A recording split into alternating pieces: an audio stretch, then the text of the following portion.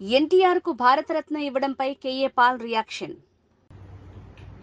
వెన్నుపోటు పొడిచిన చంద్రబాబు నాయుడు బీజేపీతో ఎన్డీఏలో చేరడానికి ఎన్టీఆర్కి భారతరత్న ఇమ్మని డిమాండ్ చేస్తున్నాను నేను అనేక సార్లు డిమాండ్ చేశాను. మోదీ గారు అమిత్ షా గారు రూపాలా గారు ఎన్టీఆర్కి భారతరత్న ఇస్తానని ఎప్పుడో కమిట్ అయిపోయారు.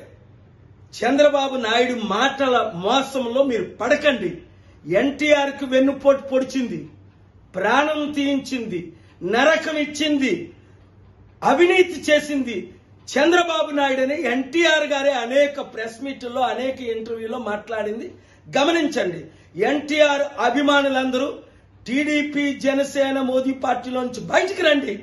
ప్రజాశాంతి పార్టీని గెలిపించండి. Seven five six nine double four one two seven five అందరూ జాయిన్ అయిపోండి. ఎమ్మెల్యే ఎంపీలుగా పోటీ చేయండి.